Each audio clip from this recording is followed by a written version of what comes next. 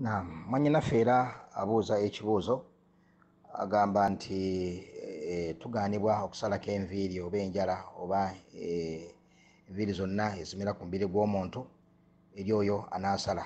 Kyokka agamba nti ye oluusi abeera e, alina okunaaba okwetteka kwalina okubeera ng'anaaba nensanga enviiri ezimu zikutuse n'ebifaanako bwe bityo. Okutuka kw'enviiri oba omuntu hatta nekyakoze mu ngeri y'obugenderevu naye nga ya daruura mathalan abadde atambula neyeekoona olwala ne lubeera nga lumenyese nga yeetaaga okubeera nga alusalako. Ebyo byonna biyingira mu mbeera eya daruura omuntu akkirizibwa okuluggyako mu mbeera efaanaganako bwetyo wadde nga ali mu abo abajja okusala.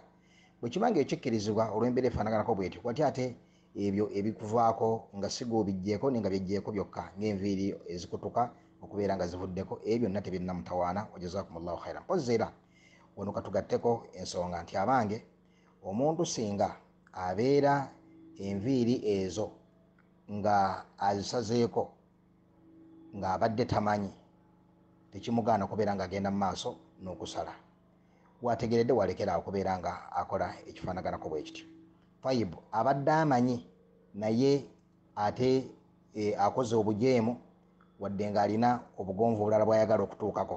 Ayagala okusala simweteefu tekubeera ntasala naye waliwo embeera emutuuseeko neyeesiŋŋaana nga e, tagondedde kiragiro ekyo. Neyeesiŋŋaana nga enviiri azisazeeko oba alina kyasazeeko ku mubiri gwe. Abaffe omuntu oyo tumugamba ntosala okwanukula ntumugamba sala.